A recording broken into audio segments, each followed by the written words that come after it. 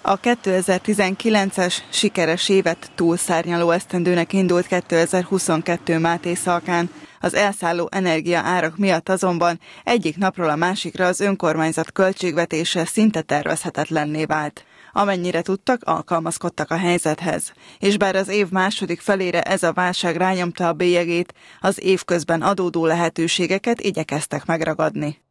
Vannak sikereink is, hiszen még januárban beadtunk négy pályázatot a Top pluszos programra, illetve azon túl 8 pályázatot, összesen 12-t. Azért választom külön, mert az első négy pályázatot, a Zöld Máté Szalka programot, illetve a Máté Szalka Ópái kerékpárút megépítését, a Kegyeleti Park fejlesztésének a második ütemét, illetve egy 200 milliós óvodai eszközfejlesztést már el is nyertünk, hála Istennek. A Zöld Máté Szakka projekt az önmagában egy 1,3 milliárdos program. Ennek keretén belül szeretnénk egy régi ígéretünket teljesíteni, amit már nagyon régen megérdemeltek a Máté Szalkaiak, egy szép, nagy, korszerű játszóteret szeretnénk a Gólyakerti tó mellé építeni. Egy kis forgalomrendezésre is jut ebből a közlekedési fejlesztésre, ebből a pénzből, ebből a forrásból. A Kálvin János Református Általános Iskola mellett épülhet meg a körforgalom, amely gyorsabbá és biztonságosabbá teszi majd a közlekedést. Régvárt fejlesztés az Ópáiból Máté Szalka felé vezető kerékpárút kiépítése, ez is megkapja a támogatást.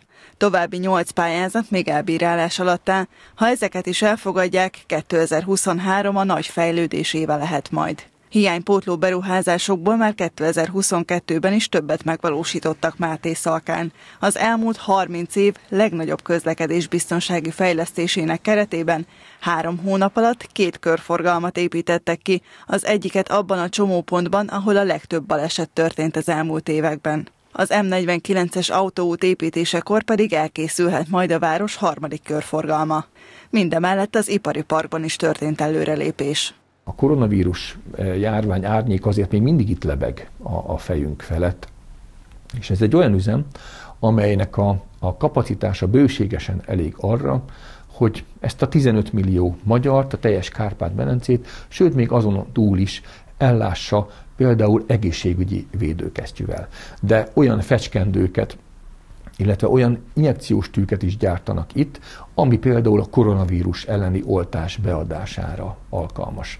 Tehát Máté Szalka egy új iparággal bővült, egészségipari cégünk még nem volt, és hát mindjárt egy e, nagy volumenű e, a Nemzeti Egészségprogram keretén belül megvalósuló üzem átadására került sor, aminek nagyon örültem, hogy pénzügyminiszter úr, aki nem most kezdte a miniszteri e, hivatást, elmondta, hogy nem volt még olyan átadási ünnepségen, ahol nulláról ennyi idő alatt sikerült egy ilyen üzemet létrehozni.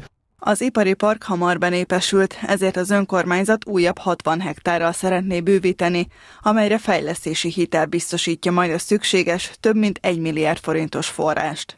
Temető fejlesztés gyakorlatilag minden évben történik Máté Szalkán. A 30 millió forint idén út és járda felújításra, valamint a ravatalozó körüli térkövezésre volt elegendő. Sőt, tervezik a teljesen új ravatalozót is. A cél, hogy 21. századi, modern, igényes temető legyen Máté Szalkán is. A zöldítés évek óta folyamatos a városban. 2022 nyarán iskolások közreműködésével ültettek el közel 80 fát.